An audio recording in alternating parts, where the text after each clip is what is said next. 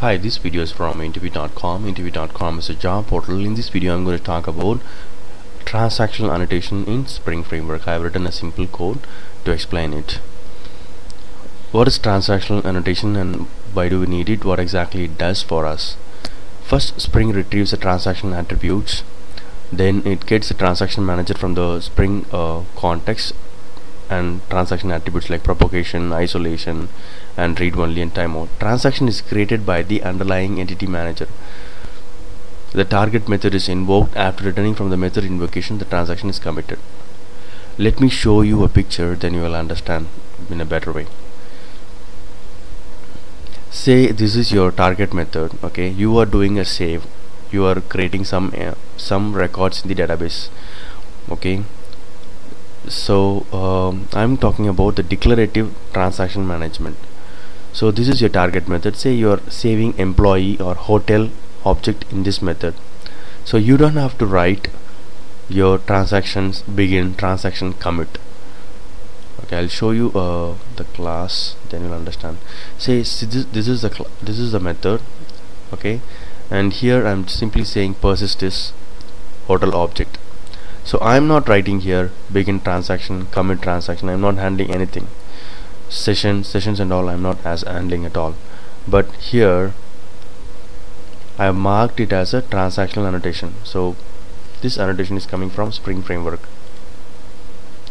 So the moment you mark a method public method should be marked only in the public method because Spring has to create the proxy object so once you mark this transaction at a service method service public method spring will take care of beginning a transaction and committing a transaction. So this is what this picture talks about. So I have the target method. On top of the target method I have marked transactional.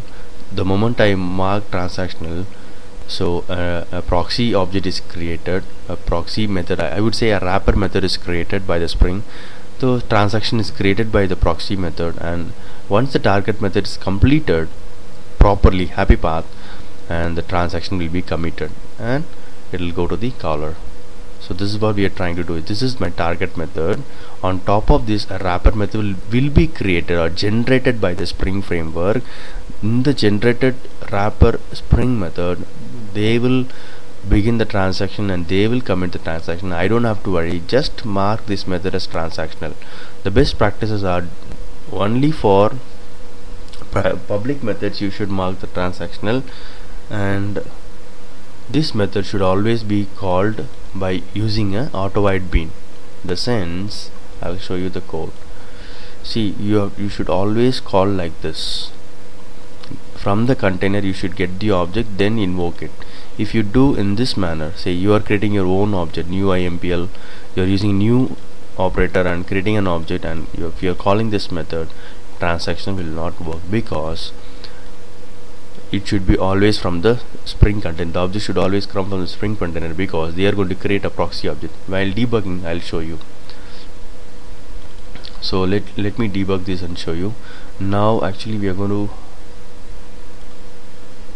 we are going to create a hotel object in the uh, the database table. This is the hotel uh, attributes. And this is the class. And I have marked this method as transactional. So let me start this debugging. So I'm going to start the debugging. I'll show you what exactly the proxy object spring is returning us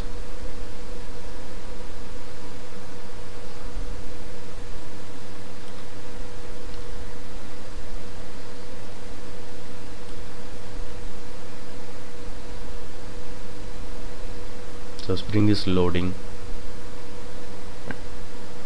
The xml file and it is creating the bean. So so please see clearly here.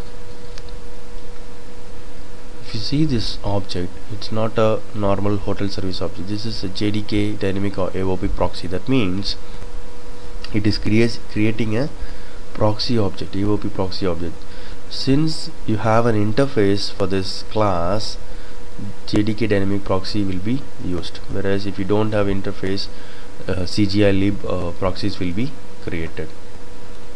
So now this object has been created. So now this uh, object will have a wrapper method on top of this target method which will have the begin transaction and the committing transaction code. So they are doing something for us spring is doing spring is generating some code on top of my service service method. So that the transactions are handled by spring itself. I don't have to worry okay? So that's the concept here. So I'm going to uh, persist. So you, you can see the transactions are taken care by. So now now you can see here Hibernate is taking care of uh, creating the records. So I am going to show you what is the record that has been created okay? So one record has been created by Spring Framework using transactional annotation. So this annotation was used now to create one record in the database. Hope this video is useful about uh, transactional in Spring Framework. If you like this video please click the like button. Else give me the feedback so that I can improve. Thank you and all the best